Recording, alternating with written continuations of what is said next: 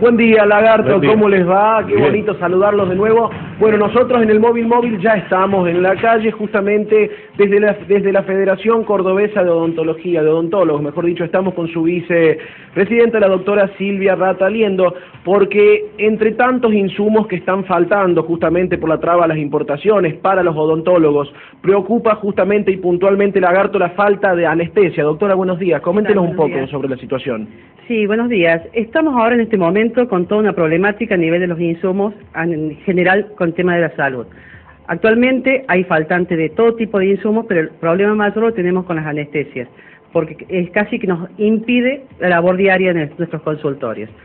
Este, el problema viene a raíz de que la anestesia se fabrica acá en el país, pero los tubos en los cuales se coloca el anestésico no vienen importados de Brasil, los cuales no, no, entran de faltante en el mercado en este momento y no se consiguen en los comercios a nivel de la provincia, a nivel nacional tampoco, por las consultas que hemos hecho con otras. digamos para que la gente entienda, el insumo está, pero no tenemos, no tienen cómo envasarlo, no tienen envase. Exactamente, no está el envase en donde se provee para conseguir anestesiar en los consultorios. Doctora, si se puede o si se quiere hablar de stock o digamos de, de cuánto se puede aguantar con esta situación, ¿qué se puede decir?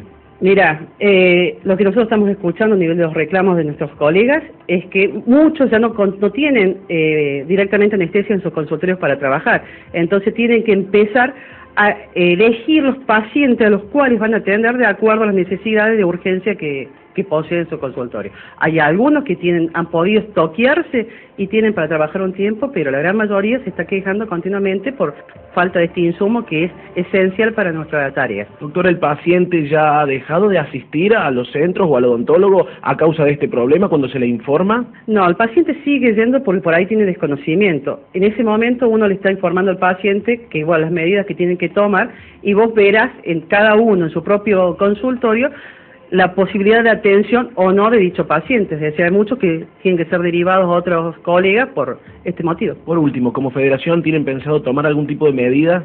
Si como Federación Odontológica de la provincia de Córdoba hemos hecho nuestro reclamo a nivel de la entidad que nos nuclea a nivel nacional, que es la Confederación Odontológica de la República Argentina, para que arbitre las medidas en las entidades que, que puede llegar a ser el Ministerio de Salud, Poder Legislativo, Cámara de Comercio, para ver si podemos eh, arreglar esta situación que por supuesto afecta a todo el país, no solamente a la localidad de Córdoba. Doctora, muchas gracias. Por favor, gracias a ustedes. Buen día. Lagarto, entonces, bueno, preocupante la situación en el sector odontológico. Por parte nuestra, ya estamos en la calle y hasta las 12 vamos a contar y mostrar lo que pasa en la bella Córdoba. Bueno, perfecto. Julián, antes que te retires, eh, quería preguntarte si podemos repasar, eh, junto con la doctora allí, cuáles son los insumos más importantes que no entran y en todo caso, si no pueden ser reemplazados en el país por los que se fabrican acá o los que se fabrican acá son de poca calidad. No sé si podés consultarle eso. Doctora, ¿se podría hacer, bueno, un listado, digamos, de cuáles son los insumos que están faltando, los principales insumos, y si pueden ser reemplazados por eh, fabricaciones nacionales? Mira, el listado en general, la gran mayoría de los insumos de consumo odontológico son de importación.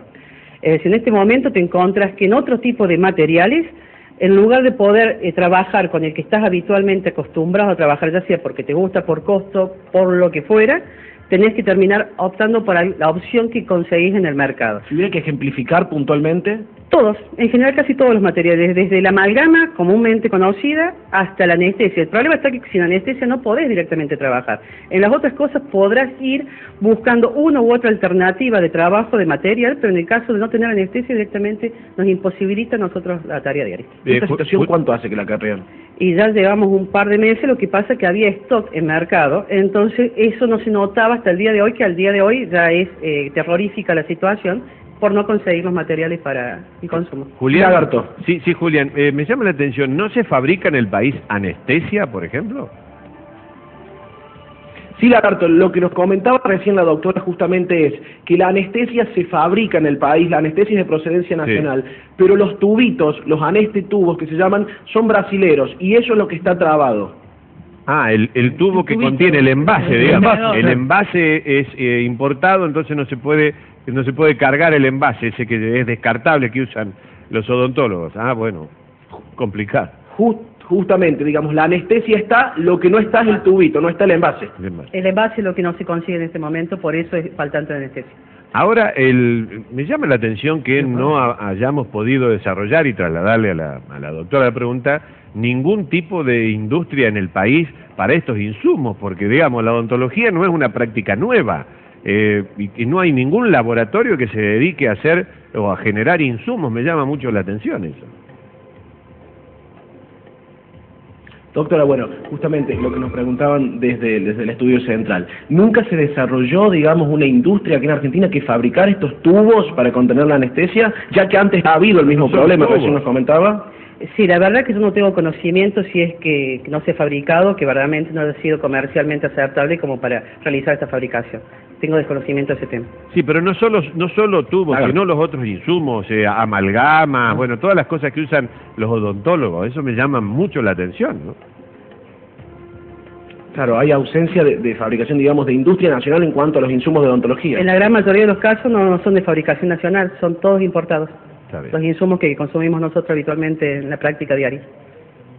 ¿Querías preguntarle? Sí. Eh, quería eh, sacarla de este tema y preguntarle, tal vez no sea eh, usted eh, la persona que como entidad oficial tenga que responder, por supuesto, sobre esto, pero sí preguntarle y trasladarle una gran preocupación que hay entre los estudiantes de odontología, que nos han planteado que hay algunas irregularidades en una cátedra, en la de microbiología, en la cual aprueban los estudiantes que eh, estudian con determinadas personas por fuera de la universidad y que este es un problema que está en conocimiento tanto de las autoridades de la universidad como de, las, de los colegios y de ustedes también y que hay incluso denuncias de odontólogos que conocen de este tema y que realmente hablan de un negociado y de una gran corrupción. ¿Usted qué, qué información tiene sobre eso allí? ¿Qué opinan al respecto? Doctora, bueno, justamente le trasladamos la pregunta. Ivana. Eh, muchas quejas recibimos en cuanto a la facultad, sobre la facultad de odontología, sobre una cátedra, puntualmente la de microbiología, con respecto a que hay una especie de negociado interno entre un profesor, puntualmente, que hay que pagar, digamos, básicamente, para aprobar la materia. ¿Se tiene conocimiento en la federación? En la Federación Odontológica no tenemos conocimiento de ese tema.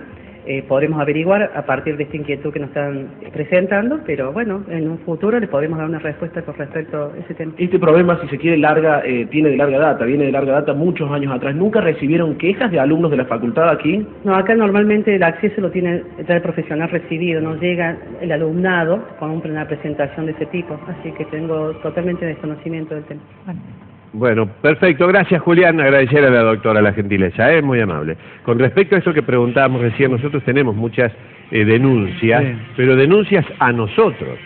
Eh, y nosotros no podemos hacer nada más que comentar esto porque carecemos de pruebas.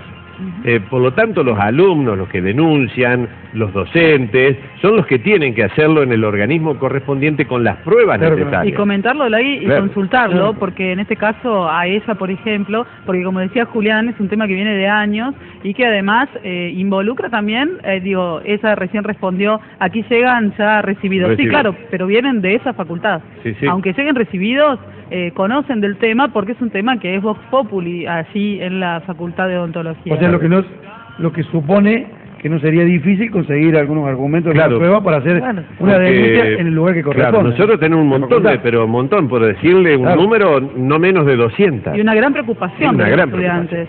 Pero no tenemos nosotros ninguna prueba para realizar una investigación. Las pruebas la tienen precisamente quienes denuncian Claro. y debieran acercarse, si es que confían, a la autoridad competente y seguramente allí iniciarán una investigación interna en la universidad o si esto tiene a lo mejor, este, eh, digamos, el suficiente peso, podrá ir a la justicia, a la justicia ordinaria. Pero bueno, nosotros, la verdad que acá hemos recibido los mensajes, pero estamos atados de manos porque no tenemos una sola prueba, solo denuncias. Y hasta acá nosotros podemos llegar.